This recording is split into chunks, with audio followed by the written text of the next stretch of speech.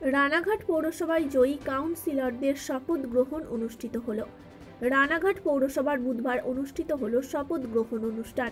রানাঘাট পৌরসভার প্রাঙ্গণে বুধবার এই শপথ গ্রহণ অনুষ্ঠান অনুষ্ঠিত হয়। রানাঘাট পৌরসভার কুড়িটি ওয়ার্ডে নবনির্বাচিত কাউন্সিলররা এদিন শপথ নেয়। রানাঘাটের মহকুমা শাসক রানা কর্মকার এদিন শপথ বাক্য পাঠ করান নবনির্বাচিত কাউন্সিলরদের। একই সঙ্গে এদিন গঠন হয় রানাঘাট পুরসভার পৌর বোর্ড। রানাঘাট পৌরসভার কুড়িটি ওয়ার্ডের মধ্যে এবার উনিশটি ওয়ার্ড পেয়েছে তৃণমূল কংগ্রেস এবং একমাত্র সাত নম্বর ওয়ার্ডটি দখল করেছে ভারতীয় জনতা পার্টি। রানাঘাটের মহকুমা শাসক রানা কর্মকারের উপস্থিতিতে কাউন্সিলরদের সর্বসম্মতিক্রমে রানাঘাট পুরসভার চেয়ারম্যান নির্বাচিত হল কৌশলদেব বন্দ্যোপাধ্যায় এবং ভাইস চেয়ারম্যান নির্বাচিত হয় আনন্দ দে।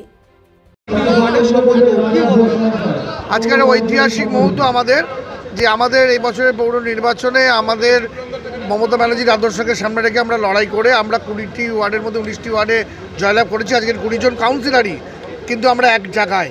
এখানে কোনো দল নেই, মত নেই, কোনো বর্ণ নেই। কুড়িজন কাউন্সিলারই আমরা আজকে ইউনিভার্সলি শপথ নিয়েছি। আমরা তারা চেয়ারম্যান নির্বাচিত করেছে। একসঙ্গে পৌর প্রধানও আমরা নির্বাচন করেছি। এবং তারা শপথ নিয়েছে আমরা আজকে টিম রানাঘাট কুড়ি জনের আরেকটা প্রশ্ন যে পানিহাটি পৌরসভার এক কাউন্সিলর তিনি মার্ডার হয়েছেন গত চার দিন আগে। আজকে সেখানে শপথ গ্রহণের খুব নিরবতা পালন হয়েছেন। সেই নিয়ে আপনাদের দলেরই কাউন্সিলর মানে উত্তর চব্বিশ পরগনা দলের কি বলবেন? খুব স্বাভাবিক ঘটনা যে একজন কাউন্সিলর খুন হয়েছে এটা দুঃখজনক ঘটনা। তিনি আমাদের মতনই একজন নির্বাচিত কাউন্সিলর ছিলেন। তাকে কি কারণে কেন করছে সেটা নিশ্চয়ই পুলিশ দেখছে।